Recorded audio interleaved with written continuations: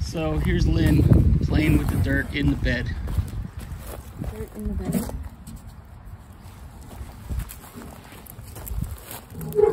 And this box looks really nice.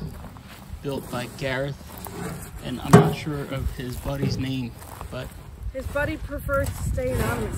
He doesn't want to get stuck in any other building project. Okay, so Gareth's buddy wants to be anonymous. No more building projects for him. This is uh, pretty solid. Look at the size of that hunk of wood.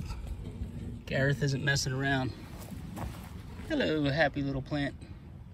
Tomato or tomatoes. So Lynn's putting some nice pretty dirt in here, she would call it. Check this bad boy out. We got quite the structure here. Could build a teepee and live in there or just have vegetables grow up that.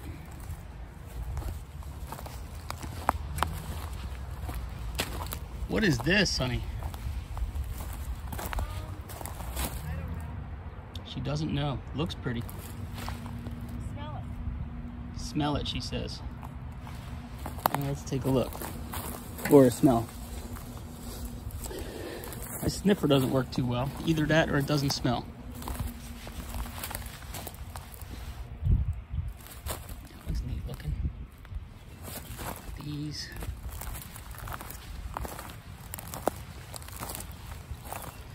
See all this water hose here's what I gotta work on. This looks nice. Swiss chard? Swiss chard, Some German chamomile, a beautiful rosemary bush. chamomile, rosemary. What is this? That's the chamomile. No, not this. This here. Th- Oh, it's more chamomile. than what's this then? That's not chamomile. What's this? Uh, I can't remember the name of it. It's an herb. An herb. Just a generic herb. It's a perennial herb that works great as a ground. Look at these we don't know what the name of it is. I think it has all in the name, but it's not allspice. I know where I'm going for the next Valentine's Day. I'm Just gonna find my roses over here.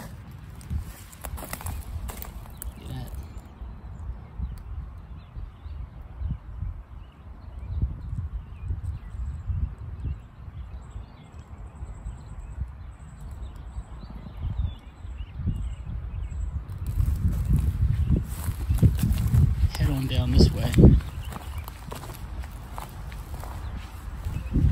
So there's a bunch of little stakes here I see. Yeah, Eric's working on this. I don't know what's happening. Eric's doing something. Nobody knows. And then there's more down here. Look at these roses. Wow, these are pretty. Look at that color. Can't wait for that to open up. Ooh, here's one. Getting ready to come out and play. What are these? They look like agave down here. These look like agave, these giant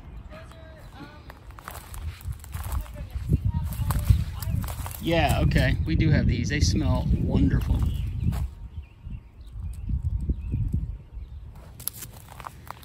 Wow, look at this. More irises? More irises.